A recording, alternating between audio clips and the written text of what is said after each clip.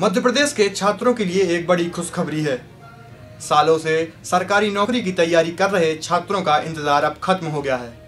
मध्य प्रदेश कर्मचारी चयन आयोग ने विभिन्न पदों की भर्ती के लिए नोटिफिकेशन जारी किया है। क्या है पूरी डिटेल्स आइए जानते हैं। मध्य प्रदेश कर्मचारी चयन आयोग द्वारा समूह दो उप समूह चार के अंतर्गत विभिन्न पदों पर भर्ती के लिए ऑफिशियल नोटिफिकेशन जारी किया गया है।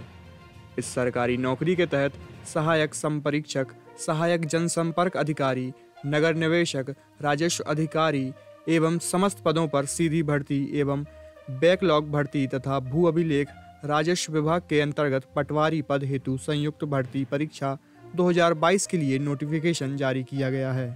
इस परीक्षा के लिए इच्छुक आवेदक अपना ऑनलाइन आवेदन 5 जनवरी 2023 से लेकर 19 जनवरी 2023 तक भर पाएँगे। मुख्य परीक्षा का आयोजन 15 मार्च 2023 को किया जाएगा। इच्छुक अभ्यर्थी एम पी पोर्टल पर जाकर अपना ऑनलाइन आवेदन भर सकते हैं। आवेदन भरने के लिए सामान्य वर्ग के छात्रों को तकरीबन पाँच और वहीं S C S T O B C और दिव्यांग उम्मीदवारों को तीन सौ दस रुपये नहीं होंगे।